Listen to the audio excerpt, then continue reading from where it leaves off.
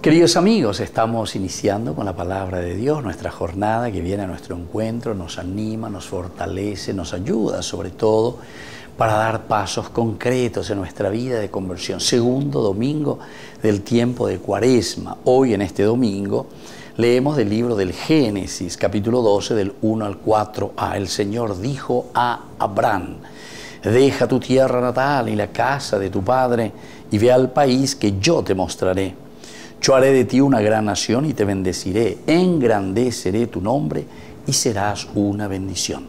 Bendeciré a los que te bendigan, maldeciré al que te maldiga, y por ti se bendecirán todos los pueblos de la tierra.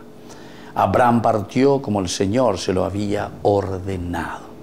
Queridos amigos, esta es la palabra del Señor que nos invita hoy a través de esta primera lectura a desraizarnos, evidentemente desraizarse de las cosas negativas, aquello que nos ata, deja tu tierra, deja las cosas del mundo, deja aquello que te está atando a este mundo y vete a esa tierra que yo te mostraré.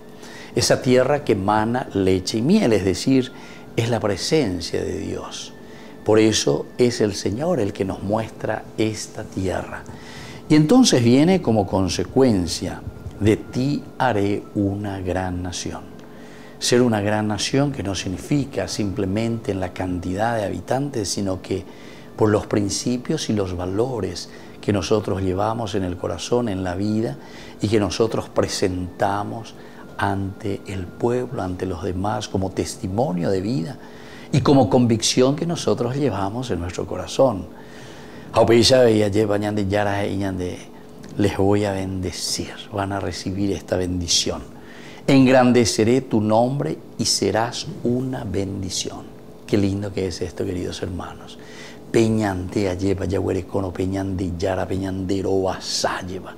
Peñande yara, oino, peñande buibe, lleva ñande oico, anga yajikua boja ñame, ñandera pisacuera ve. Peñande yara, gracia Y eso quiere decir, tú serás una bendición bendición para los demás, bendición para aquellos que están en contacto con nosotros.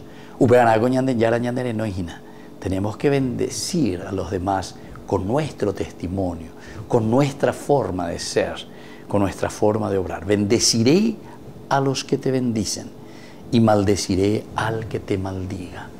Queridos amigos, pidamos esta gracia especialmente hoy al Señor. Recibir en primer lugar esta bendición y al recibir la bendición Peñandillara, Ñandero Basajina, Ñandea Bellas, Ñame, por nuestro testimonio y ejemplo de vida, la bendición para nuestro pueblo, para nuestra familia, para nuestra gente. Y que Dios nos bendiga a todos, el Padre y el Hijo y el Espíritu Santo. Amén.